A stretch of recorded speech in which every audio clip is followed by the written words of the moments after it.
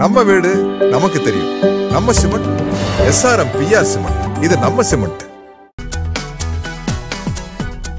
சென்னை மாநகர மக்களுக்கு தடையற்ற குடிநீர் வழங்கிடும் வகையில் நெம்மேலி கடல் நீரை குடிநீராக்கும் நிலையம் தொடக்கம்.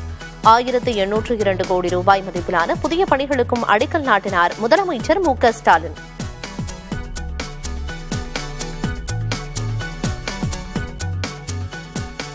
கடும் நிதி நெருக்கடியிலும் மக்களுக்கான குடிநீர் திட்டங்களை திமுக அரசு செயல்படுத்துவதாக முதலமைச்சர் பெருமிதம். தமிழகத்தில் நகராட்சி நிர்வாகம் சிறப்பாக இருப்பதாகவும் பாராட்டு.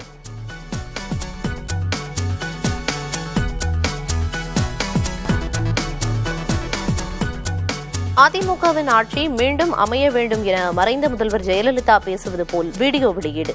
தமிழர் உரிமையை மீட்போம் தமிழ்நாடு காப்போம் என்ற முழக்கத்தையும் வெளியிட்டார் இபிஎஸ்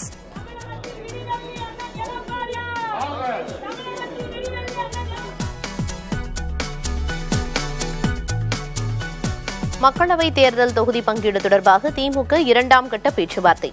மதிமுக இந்திய யூனியன் முஸ்லீம் லீக் கட்சிகளோடு இன்று மாலை ஆலோசனை.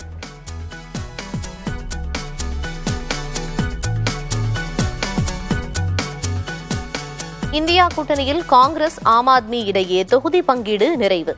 டெல்லி குஜராத் ஹரியானா சண்டிகர் கோவாவில் உடன்பாடு.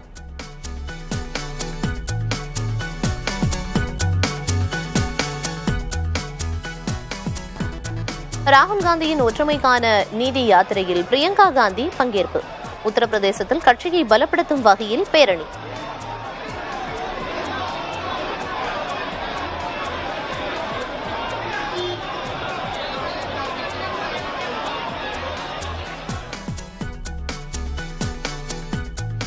மக்களவைத் தேர்தல் தொடர்பாக இரண்டாவது நாளாக ஆலோசனை நடத்தும் தலைமை தேர்தல் ஆணையர் ராஜீவ்குமார். தமிழ்நாடு கர்நாடகா கேரள மாநில தேர்தல் அதிகாரிகள் பங்கேற்பு.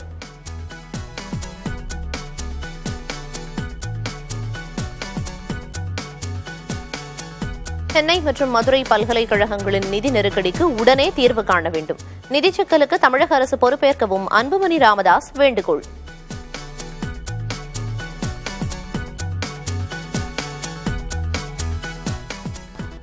பராமரிப்பு பணிகள் காரணமாக நாளை தாம்பரம் சென்னை கடற்கரை வழித்தடத்தில் ரயில்கள் ரத்து.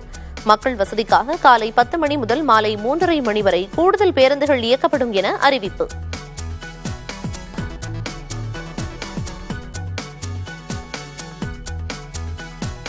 மாசி மகத்தையொட்டி கடலூர் வெள்ளி கடற்கரையில் தீர்த்தவாரி. லட்சக்கணக்கான பக்தர்கள் குவிந்து வருவதால் போக்குவரத்தில் மாற்றம்.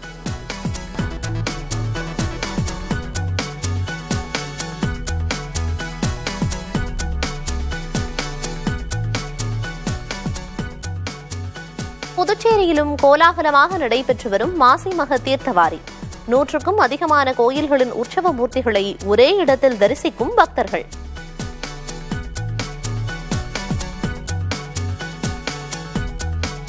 நம்ம வீடு நமக்கு தெரியும். நம்ம சிமெண்ட் எஸ்ஆர்எம் பிஆர் சிமெண்ட். இது நம்ம சிமெண்ட்.